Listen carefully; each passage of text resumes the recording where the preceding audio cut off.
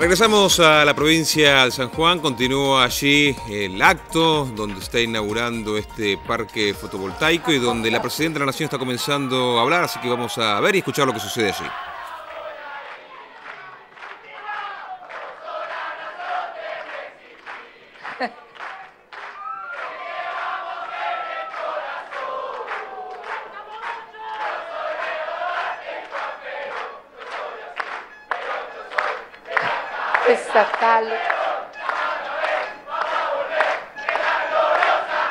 Divino, los quiero mucho.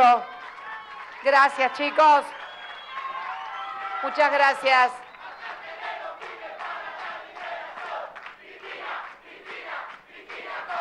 Gracias. Muchas gracias. Bueno, señor gobernador de la provincia de San Juan, señor intendente, señores intendentes presentes, titular de Engasud, que hoy estamos aquí inaugurando este verdadero energía, energía alternativa en el marco, qué lindo ese, gracias, ¿no? Pero pónganlo un poquito acá para que no me ponga mal. Eso es, gracias. Este parque de energía fotovoltaica en el Plan Nacional, porque tenemos un programa de energías renovables. Este parque de hoy se inscribe dentro de ese plan en el cual ya se encuentran licitadas 950 megavatios y hoy con esto estamos completando 117 megavatios de energías alternativas en todo el país. Este parque cuando termine va a tener 20 megavatios, hoy estamos inaugurando 5 megavatios. Se olvidó de decir, eh, Alejandro, que esto mm, elimina 32 mil toneladas de carbono en el aire, con lo cual es realmente energía. Esta es una semana muy energética en realidad, ¿no? Es una semana que empezó con energía de la, bueno, de la que todavía se va a seguir utilizando durante mucho tiempo porque realmente el mundo, la actividad económica todavía va a seguir dependiendo durante mucho tiempo, durante algún tiempo considerable de las energías fósiles que son contaminantes, del gas, del petróleo. Eh, hoy estamos con una energía totalmente alternativa, eh, aprovechando este sol fantástico sol fantástico no está acá la sombra, por supuesto, porque afuera te la regalo, es divino para la energía, pero a mí me mata, pero un sol maravilloso, un sol que derrocha energía y que derrocha riqueza. Y mañana vamos a estar, quiero adelantar también en Santa Cruz, con otro tipo de energía hidroeléctrica. Vamos a presentar el proyecto de licitatorio de Barrancosa Condor Cliff. Ustedes saben que todos los días los argentinos estamos tirando al océano Atlántico 1.740 megavatios del río Santa Cruz, que es la energía que produce los 365 días del año, que demanda una gran inversión, más de 4 mil millones de dólares, pero que una vez consolidada es una energía absolutamente limpia y solamente hay que mantenerla, y es una energía que se mantiene pareja durante todo el año. Hablaba recién Iván Isevich de eh, modificar, modificar la matriz energética de Argentina y fijar como meta que un 20% de esa eh, energía sea en el año 2020 precisamente de energías alternativas, esto es eólicas, como la que me tocó inaugurar junto a él también en la ciudad de Rawson, en provincia del Chubut, o en el caso de fotovoltaica, como estamos inaugurando hoy aquí. La hidroeléctrica no es alternativa porque es una de las que ya componen la matriz energética de la República Argentina, pero también es limpia y además nos da el tema del riego, que es muy importante para todo el país y también para zonas como mi provincia, Santa Cruz, eh, y también para San Juan, que necesita mucha agua para su actividad agrícola. Bendita provincia, bendita provincia, rica en minerales, rica en sol, rica en posibilidades en donde el olivo, la vid se desarrollan de una manera que necesitan además este clima seco. Y la verdad que yo me encuentro muy orgullosa como presidenta de todos los argentinos de estar eh, llevando adelante este proyecto de energías renovables que lanzamos, si mal no recuerdo, lo lancé yo inclusive como presidenta, eh, es un plan de promoción fiscal y también de inversión, participa el vice. 2009, ¿no? 2009. Lo decía porque mm, ayer alguien eh, planteaba que debíamos estar pensando en las energías este, renovables. Alguien que no es de mi partido político, pero bueno, se ve que o estaba eh, desatento en el momento que lo presentamos, o bueno, o por ahí estaba descansando y no se dio cuenta de que Iván estaba con Engasud haciendo eh, molinos en el sur. Dentro de poco vamos a visitar la localidad de Esperanza, en provincia de Santa Fe, donde se hacen molinos. Y también voy a recoger el desafío, el reto de instalar aquí, en San Juan, un polo de desarrollo tecnológico para este tema de desarrollar los paneles solares, aprovechando la inmensa cantidad de cuarzo que tiene, mineral que tiene aquí San Juan. Para eso vamos a trabajar en un convenio entre la provincia, entre ADIMRA, que sería, digamos, el grupo industrial que debería desarrollar estos paneles, para que estos paneles puedan producirse en la Argentina con tecnología argentina y exportarse al mundo. Así que estamos trabajando en el convenio y próximamente lo vamos a firmar, porque vamos a generar precisamente, y en esto hay que estar muy en avanzada, eh, en los instrumentos, la tecnología, precisamente para esas eh, energías alternativas. La verdad que yo miraba todo lo que estábamos haciendo hoy acá en San Juan, ¿no? Por empezar con Loma Negra, con importantísima empresa de origen brasileño como es Camargo Correa, pero que es una empresa argentina, con accionistas eh, brasileros y que tal cual se había comprometido conmigo en una visita que hicieron una de las hermanas, eh, Camargo, la inversión importantísima de 250 millones de dólares para instalar una planta de cemento en un país en donde el consumo del cemento, o sea, la producción, o sea, la construcción, ha eh, crecido en forma exponencial. Ustedes saben que la construcción es madre de industrias y ha, sido, ha tenido un desarrollo que se perfila además en la generación de puestos de trabajo. Esto lo charlábamos el otro día con el señor secretario general de la UOCRA, que de 40 o 50 mil cotizantes eh, allá por el 2003, hoy tiene más de medio millón de obreros que trabajan en la construcción y que se ganan la vida dignamente todos los días. Ver también aquí en San Juan, como señalaba José Luis, a más de 1.200 kilómetros de la cabeza de Goliat, ¿no? De esa cabeza de Goliat que tantas veces puso su nuca al resto del país y concentró todo allá. Algunos todavía la tienen al país mirando con la nuca. Nosotros hemos decidido desde allá, desde la Casa Rosada, mirar al país de frente, mirar hacia el norte, mirar hacia el sur, hacia el centro, hacia toda esta bendita e inmensa geografía que estaba esperando.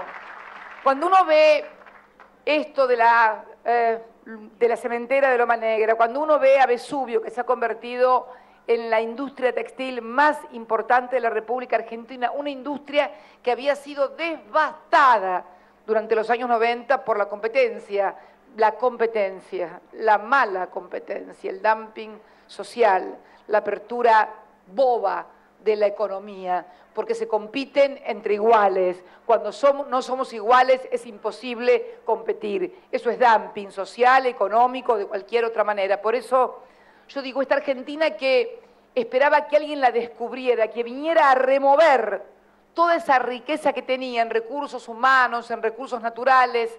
Y el otro día, cuando, el otro día, en septiembre del 2011, cuando inaugurábamos la fábrica de camisas y hoy inaugurando la etapa o poniendo la piedra fundacional de los nuevos 3.000 metros cuadrados que va a ser Vesubio, que es, bueno, marcas muy importantes, ¿no? Eh, porque se la conoce como Vesubio, pero no, no es solamente el cocodrilito. Es Caen Danvers, es Cayarel, son marcas muy importantes que están exportando a toda América Latina, sustituyendo importaciones y generando trabajo para los argentinos. Y están aquí en la provincia de San Juan.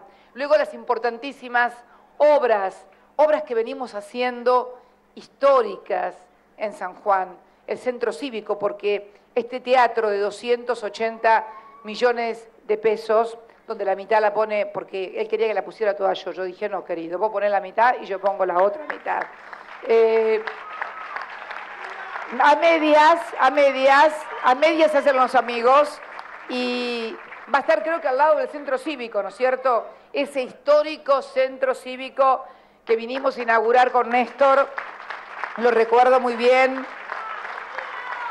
en un hermoso acto, en un día de calor también, donde me acuerdo que lanzó aquella frase famosa de que iba a volver como primer damo a, la provincia de San Juan. ¿Te acordás? ¿Te acordás? Eh, esas cloacas, esas cloacas que van a llevar la capacidad que hoy tiene 33% de la gente, tiene cloacas y en Chimbas nadie, por ejemplo, en el Gran San Juan, y que va a llevar a que el 80% del Gran San Juan tenga cloacas y no haya pozos negros.